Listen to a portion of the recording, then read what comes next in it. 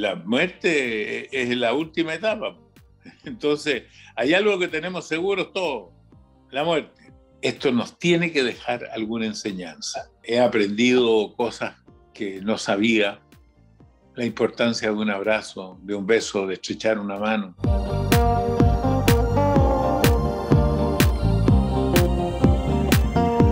Yo desde el principio decidí hacer como, estas eran mis reflexiones relacionadas con un libro que escribí que se llama Con ganas de vivir, que va a salir en mayo. Entonces yo quedé con, con, con CNN de hacer un ciclo de, de 10 programas. Eh, Cynthia Hudson me dio esa oportunidad. Camilo Egaña estaba de vacaciones, así ocupamos las vacaciones de Camilo Egaña para yo hacer esto, estos 10 programas. Quedé muy contento, por lo menos hasta ahora. Espero que el público también.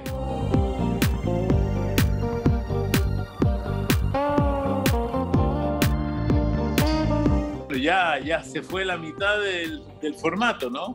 Porque ya eh, se han hecho cinco programas. Salió José Luis Rodríguez al aire, después estuvo Fonsi con eh, Isabel Allende.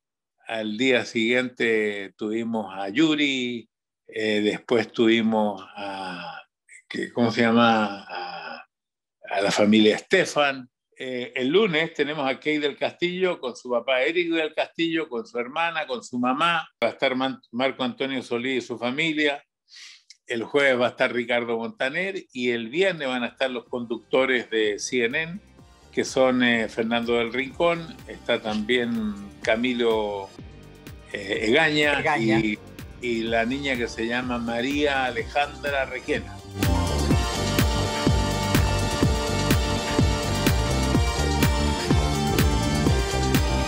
Tuvimos en algunas entrevistas algunos problemas técnicos que se presentan con esto de la virtualidad pero en general, toda, el 99%, porque hubo uno que dijo que no podía, el 99% de la gente que invité me dijo, ok, dime cuándo, cómo y dónde, y lo hicimos.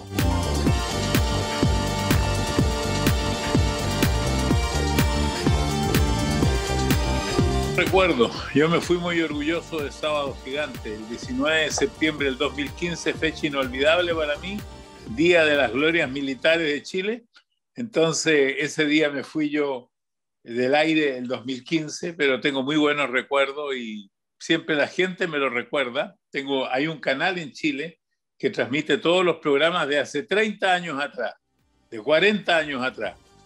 Así que siempre tengo buenos recuerdos de Sábado Gigante. Lo pasé muy bien haciendo Sábado Gigante.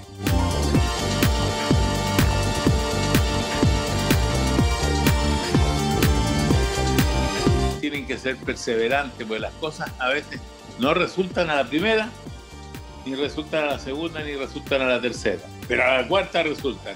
Hay que estar siempre atentos.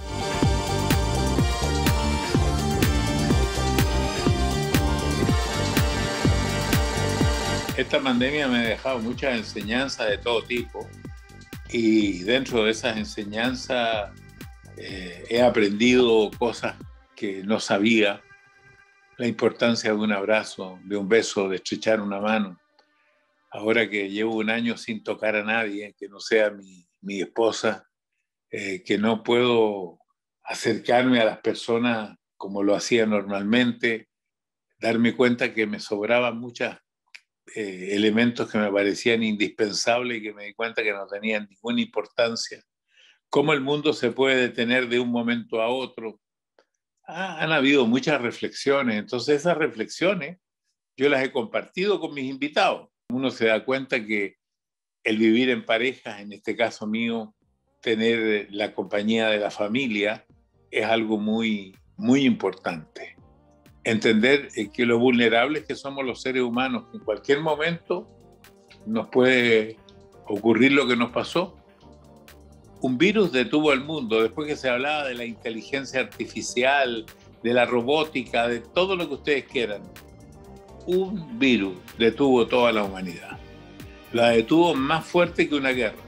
Ya los Estados Unidos están llegando al medio millón de personas fallecidas. En mi país, Chile, 20.000.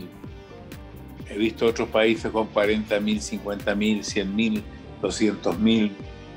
una cantidad muy grande de gente que ha fallecido por esta pandemia. Esto nos tiene que dejar alguna enseñanza.